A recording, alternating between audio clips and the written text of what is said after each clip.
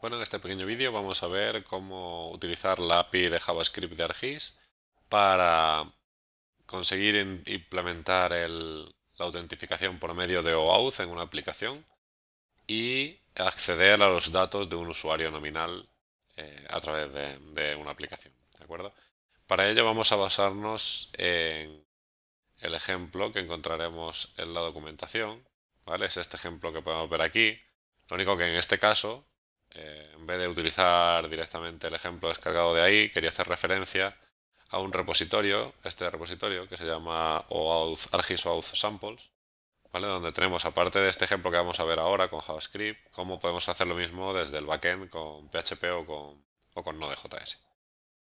¿Vale? Entonces, bueno, enseñaros que yo este, este ejemplo lo he partido en tres ficheros para dividir la parte del, HTML, CSS JavaScript, para que sea más sencillo.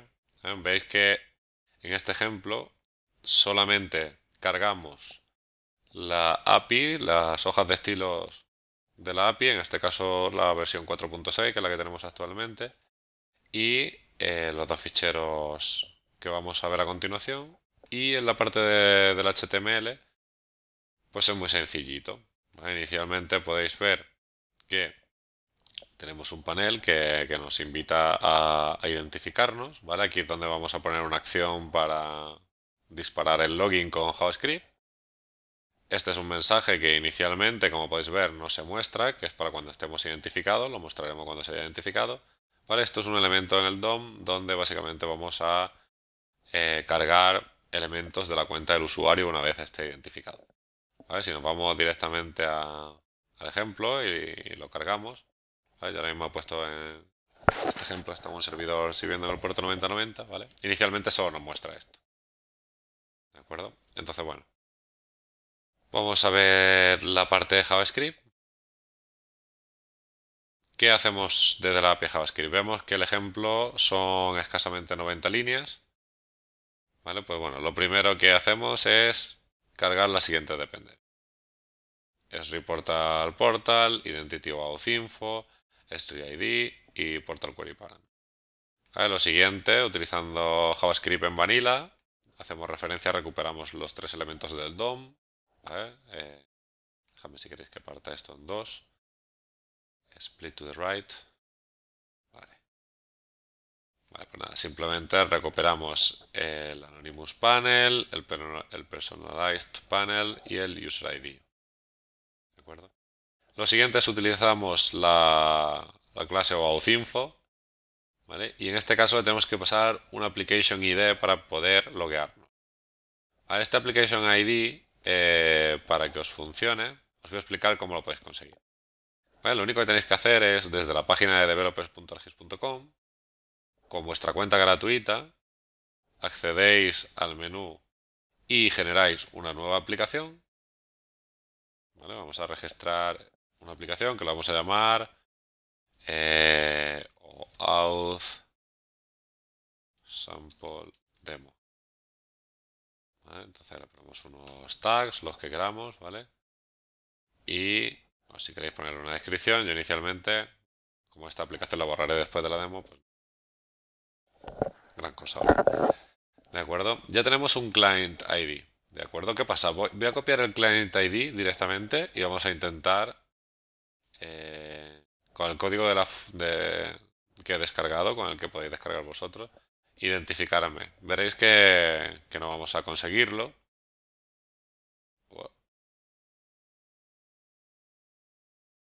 A ver, perdona. Ahora. Vale, perdona que estaba la caché mal puesto. ¿Veis? Nos da este error de invalid redirect URI. ¿Esto qué significa? Básicamente estamos, la API ha intentado identificarnos con el ID que le hemos pasado, ¿veis? N341, bla, bla, ¿Vale? Y, nos ha dicho que si seguimos viendo los parámetros, aquí hay una URL de redirección que nos redirige a localhost identity o auth basic, ¿no? que es donde estábamos, a esta redirección. Básicamente lo que nos está diciendo es que no tenemos configurada esta aplicación para que esa redirección sea válida. Este es un proceso habitual que hay que hacer en cualquier otra aplicación, en cualquier aplicación que generemos con, con OAuth. Entonces, dentro de nuestro panel en la pestaña Authentication, aquí podemos poner qué URLs son válidas para eh, la autenticación. ¿Vale? Y simplemente haciendo esto, añadiendo esta URL aquí, si volvemos a identificarnos, veréis que ya si nos dice que OAuth Sample Demo, que es la aplicación que acabo de crear, quiere acceder a mi usuario. ¿Vale? Esto está sucediendo en argis.com. Si yo con mi usuario le concedo a la aplicación que acabo de crear permisos,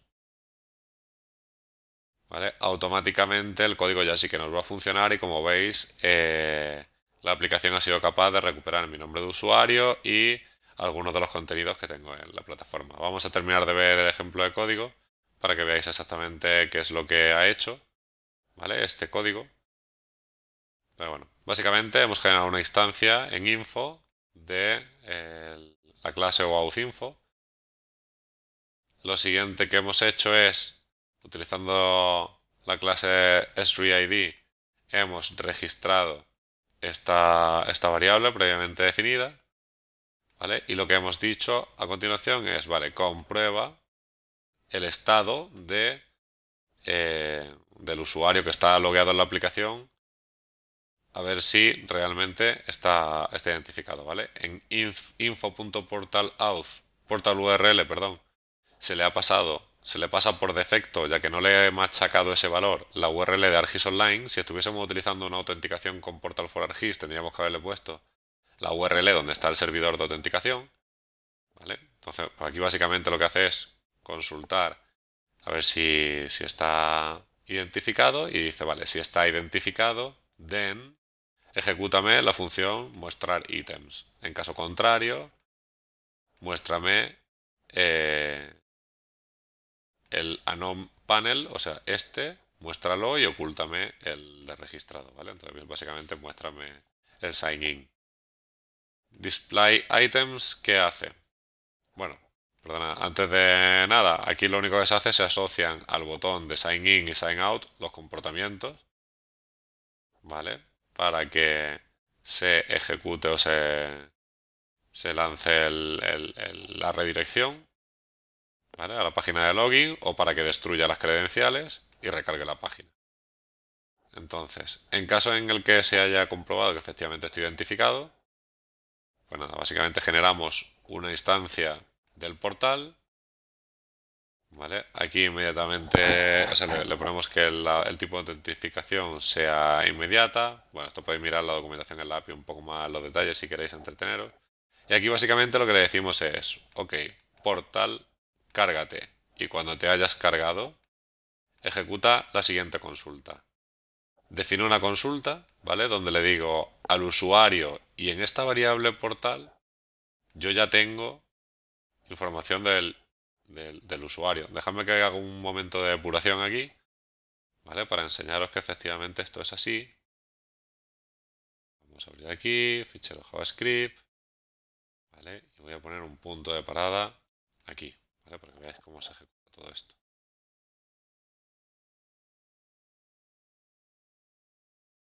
Aquí, que todavía no se ha mostrado la galería. Voy a parar hasta aquí, donde se haya cargado ya la variable portal. Si yo aquí accedo a la variable portal, podréis ver que dentro de todas eh, las variables encontramos información del usuario. Déjame que voy a hacer, a ver si me deja...